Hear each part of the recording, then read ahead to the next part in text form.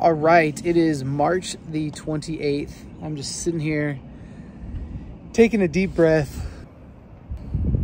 Today, um, man, so John T. Edge, um, super long story for the day, crazy timing, but he came uh, did an interview uh, back in, good gosh, end of the year. It's been it's been months. Um, I think it was probably November, and um, anyways, he just posted a really nice article about the restaurant um, for Garden & Gun magazine, and it just, I don't know, it just like meant a lot. Uh, he said some really nice things, and I'm super thankful for it. Uh, it kind of like brought tears to my eyes because he just he wrote an article, and it wasn't just focused on the food. It was it was really calling out and focusing on something that we've been really working hard on, which is like the people and we really believe that we're building like this family of ass kickers and it just means so much to me uh, when somebody comes in and they notice like the special like lightning in a bottle that we have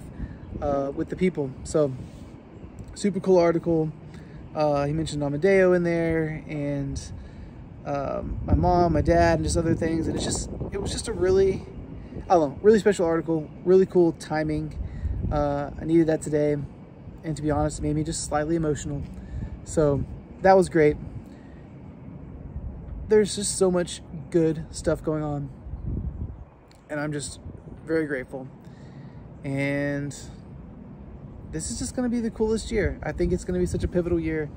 And I can't wait to look back and watch these videos, man, because uh, I'm really happy. And uh, outside of that, this coffee shop on South Main is coming together. The plans are looking good. And I just want to go right now and start building it.